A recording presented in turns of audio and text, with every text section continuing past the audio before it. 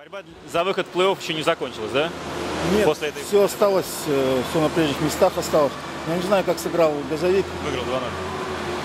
Он вел вроде после первого периода. Выиграл, да, Газовик? 2-0, да. Да, то, то есть мы опережаем их на одно очко. У нас осталось по две игры. Они играют с остальными лисами, мы играем с автомобилистом. Вам полегче, скорее всего. Да, я бы не сказал, они сейчас все игры последние, они как э, игры плей-оффа. Если касаться даже сегодняшней игры, Серебряные Львы пришли с таком, с таком же турнирном положении, как и мы. Борьба за выход в четверку.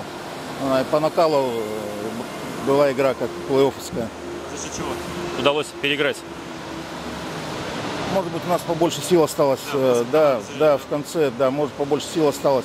Потому что, я, насколько знаю, э, львы играли последние три игры, выиграли. Не очень тяжело играли, выиграли там практически. Они в два и в три состава переходили. Мы последнюю игру играли со СКА, э, четыре состава.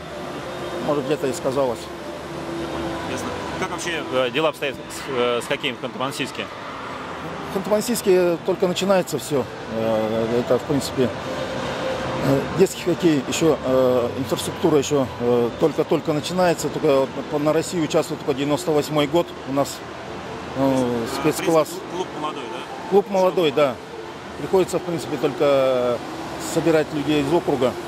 В принципе, все равно ставку делаем на округ Ханты-Мансийск, Нижневартов. 4 года и через 3-4 года будут собственные воспитанники, да? Через 4 года уже точно будут. За 98 год точно будут. Спасибо большое.